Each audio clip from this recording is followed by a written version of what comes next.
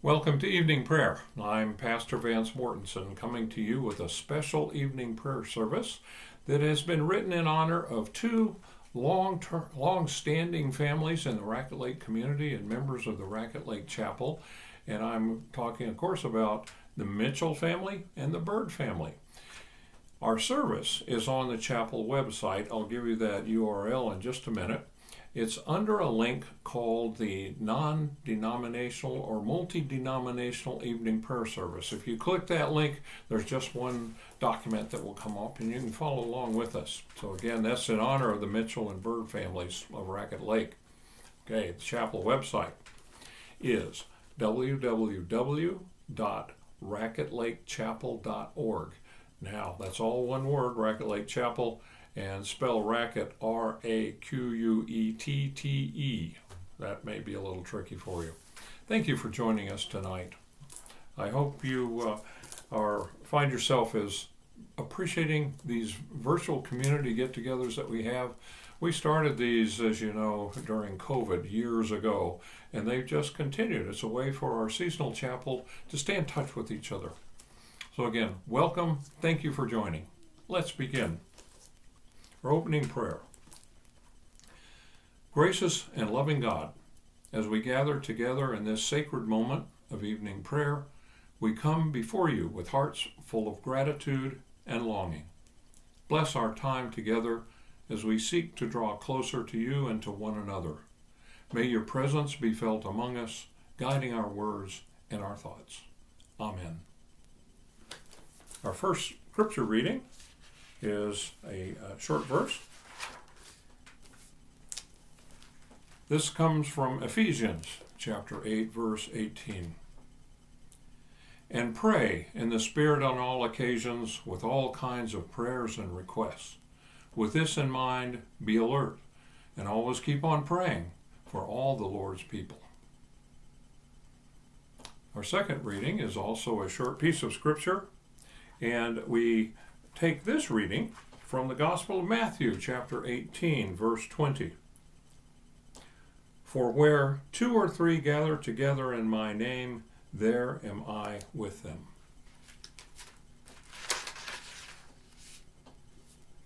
I reflect on this a little bit, as you can guess. There are two things that came out in both of these readings. I'll touch just very quickly. First of all is prayer, of course. But the second is a qualifying aspect of prayer, and that is community prayer or praying together. So, my question is how many of you participate now or have participated in a community that uh, has prayer lists that keeps them current and they're read aloud at all of the community gatherings? That's a little bit different from personal prayer. Of course, we can pray a prayer list on our own, but there is something very special about praying together a list of people who are needing our prayers as a group. Prayer lists provide a special role in the spirituality and a sense of belonging to any faith community. They provide a way for us to share our joys, our concerns, and even news within our community.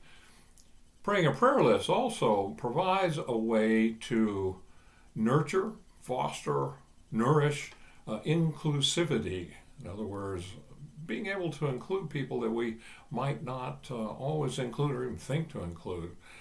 But they foster inclusivity, they uh, foster spiritual growth, they, sponsor, uh, they also help nourish uh, empathy that we have for one another, and just provide a follow up with the health of the members of the, any faith community message coming out of these times is uh, we're all in this together. The people and the concerns that people in any faith community have seem to come alive and become more real and tangible when we pray them together as a, as a group. We learn that we are not alone as we invoke our Lord and His servants in our community to join us Amen.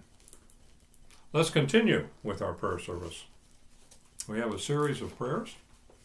First of all, let us pray for peace. God of peace, we pray for peace in our hearts in our homes, and in our world. Grant us the wisdom and courage to be agents of reconciliation and instruments of your peace. May your peace, which surpasses all understanding, fill us and guide us in all that we do. Amen. And now a prayer for all people. Gracious God, we lift up all people to you, regardless of race, ethnicity, or creed. Help us to see the inherent dignity and worth of every individual and empower us to work together for justice, equality, and compassion. May your love encompass all humanity, uniting us as one family under your care. Amen. Now pray for any who are suffering from illness, violence, and war. Merciful God, we pray for all who are suffering from illness, violence, and war. Comfort those who are sick and suffering. Bring healing to their bodies and peace to their minds. Strengthen those who are victims of violence and conflict, and guide us in our efforts to build a world free from hatred and injustice. May your presence be a source of hope and healing to all who are in need. Amen. As you know, the Raquette Lake Chapel keeps its little prayer list, its prayer box that we publish at the bottom of our Sunday Blasts. Uh, Sunday Blasts are also can be found on the chapel website on the very first page.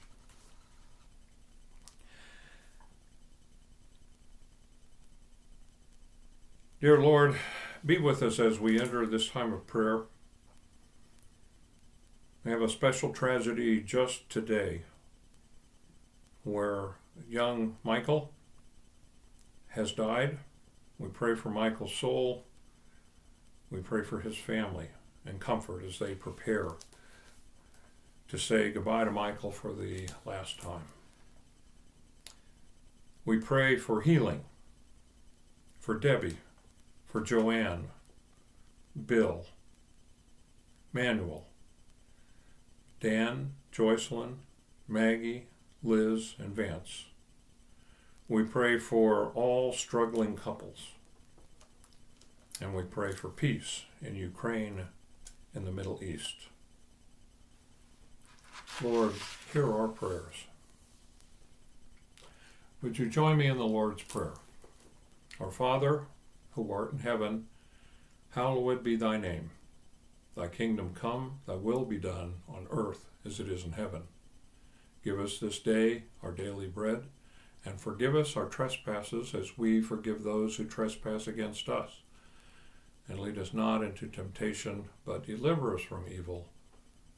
For thine is the kingdom, and the power, and the glory forever and ever. Amen. Now, our concluding blessing. May the peace of God, which passes all understanding, guard our hearts and minds in Christ Jesus.